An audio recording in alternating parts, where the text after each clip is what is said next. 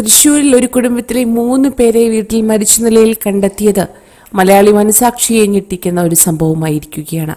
മാടശ്ശേരി വീട്ടിൽ സുമേഷ് ഭാര്യ സംഗീത മകൻ ഹരിൻ എന്നിവരാണ് മരിച്ചത്. ദമ്പതികളെ തൂങ്ങി മരിച്ച നിലയിലും മകനെ തറയിൽ മരിച്ചു കിടക്കുന്ന നിലയിലുമാണ് കണ്ടെത്തിയത്.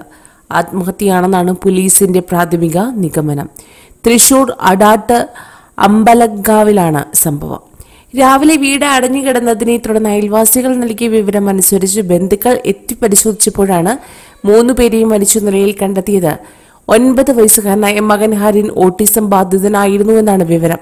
ഹരിനെ പായ വിരിച്ച് അതിൽ കിടത്തിയിരുന്ന നിലയിലാണ് കണ്ടെത്തിയത്.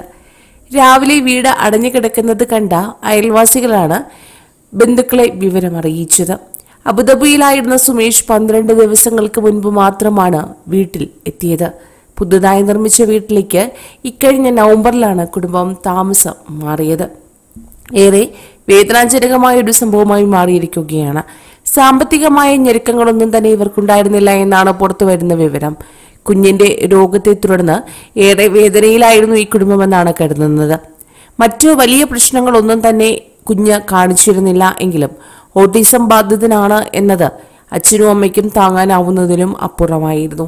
അങ്ങനെയാണ് തങ്ങളുടെ പൊന്നോമന പുത്രനെ കൊന്നതിനു ശേഷം അച്ഛനും അമ്മയും ആത്മഹത്യ ചെയ്തത്.